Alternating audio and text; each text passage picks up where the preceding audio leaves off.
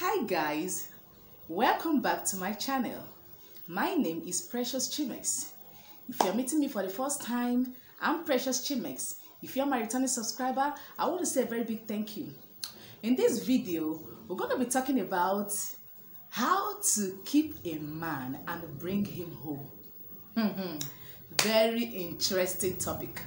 You know, some people say that their husband hardly comes home. This woman is holding him back.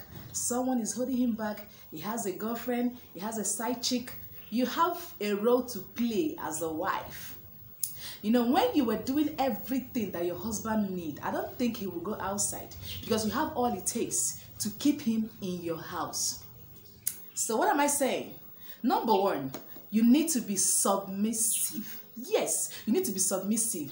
You need, you know, so when you choose, if you choose that man that he is your husband, so you got to be submissive to him. You need to submit to him. So making making the right choice is very very important in choosing a spouse because when you choose the right person, then you have no choice than to submit to him.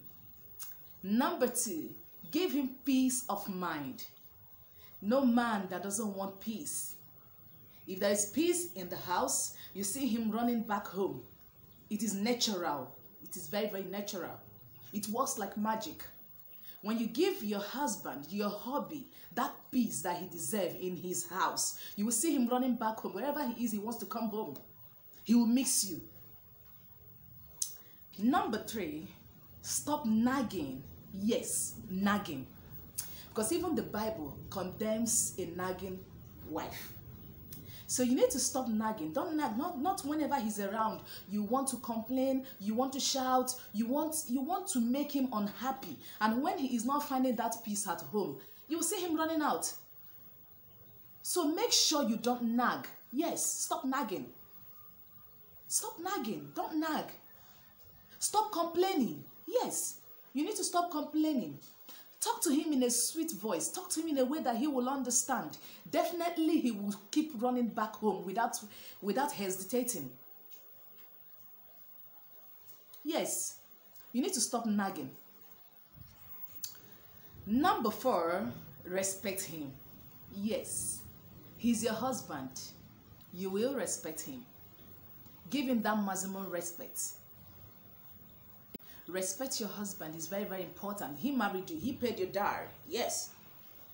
He's your god on earth. You have a god in heaven but your husband is your god on earth. So respect him. Then number five is what? Food. I said what? Food. You heard me? That one. If you know how to cook your husband will come back home. Abi you no get am see let me tell you eh the thing wey una suppose understand be say the fastest way to a man's heart is through his belly. Yeah that's the fastest way to his heart. So you need to know how to cook.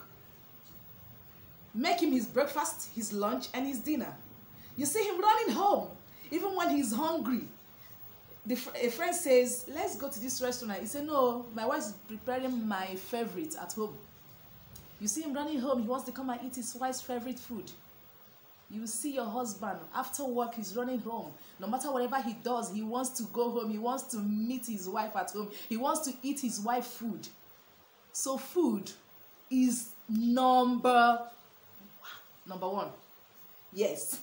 so guys, if you want to keep your man, you want to keep your husband, not boys, so there are men that are still boys I'm talking about real men, real men, husband. Yes, husband, not boyfriend, husband.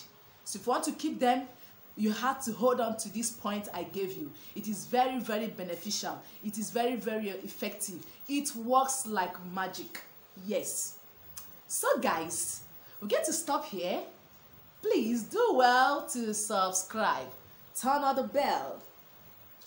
Don't forget to like and comment. See you guys in my next video. Bye.